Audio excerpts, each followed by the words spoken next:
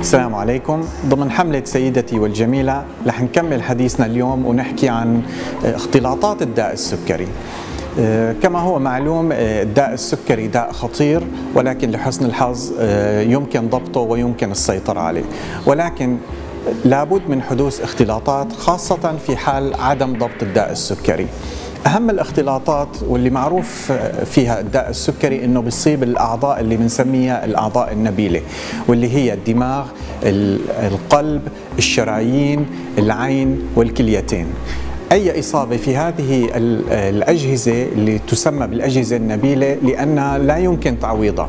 فأي إصابة تحدث فيها مع الأسف لا يمكن تعويضها. وبالتالي لازم مريض السكري يكون حريص جدا أنه ما يصل لمرحلة أي إصابة أو تخرب في هذه الأعضاء الهامة جدا.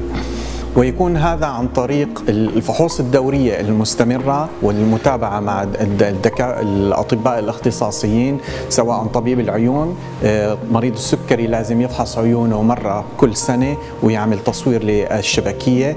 آه، المراجعة الدورية للطبيب الباطنية والقلبية. إصابة الكليتين هو من آه، الاختلاطات أو المضاعفات اللي كثيرة الحدوث خاصة عند السكريين اللي ما بيلتزموا بالدواء أو ما بيلتزموا بالحمية الغذائية والنشاط الفيزيائي المطلوب لضبط الداء السكري. الفشل الكلوي من أهم وأخطر الأعراض أو الاختلاطات اللي ممكن تصيب الداء السكري.